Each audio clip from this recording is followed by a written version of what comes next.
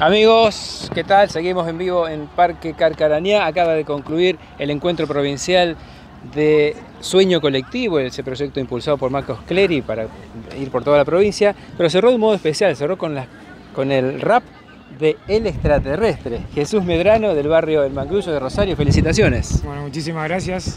Bueno, eh, vinimos a hacerle la segunda a Marco eh, porque sabemos que es la única opción que tenemos para tener futuro, así que le venimos a hacer el aguante para tratar de construir algo, algo nuevo para la juventud y, y para las generaciones que vienen. Así que estuvimos acá pasando el día, la pasamos bastante bien con todos los compañeros, así que nos vamos contentos. Cerramos el sueño colectivo de una manera muy distinta y, y yo creo que, que, vamos por mucho más porque, porque las puertas están abiertas para, para que el peronismo vuelva al juego, así que ahí está. estamos ahí. ¿Te gustó el parque? Me encantó, me encantó a todos los compañeros que vinieron conmigo también se quedaron fascinados, así que la pasaron muy bien. Y bueno, esperamos volver. Eso. Vamos a volver porque vamos a venir a comer una asadita entre todos, así que nos gustó eh... el lugar, nos gustó. ¿Y participaron de, la, de esa cosa extraña, esa ceremonia de bienestar que hubo? Eh, no, no participamos, pero escuchamos los distintos debates que hubo y nos pareció interesante el tema del feminismo y, y de lo que está pasando ahora con la economía, que hablaron los muchachos, así que eh, nos pareció interesante porque a eso vinimos también a prestar un poco de atención de la política. Más que nada para que la juventud esté en la política, que es lo que, lo que más hace falta. Ahí está. Así que sí.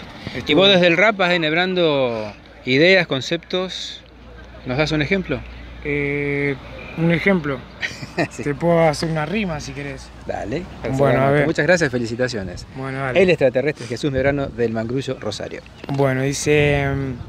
De nuevo para el pueblo y destacarme lo que quiero, por eso con respeto siempre estoy a donde puedo. Yo sigo en mi doctrina y no salgo para la esquina y si quieren conocerme pasen por la oficina. Ahora esto es mentira con el humo que nos venden, es todo una estafa y yo sé cómo nos mienten. Te manipulan en la tele con otro ambiente, son todas pura mentira dando vuelta en mi mente. El pobre sigue pobre y el rico sigue rico con mi música para la calle si quieres yo te lo explico. Este gobierno no escucha y no cambia su legado de que el pueblo pide justicia por Santiago Maldonado. Donado.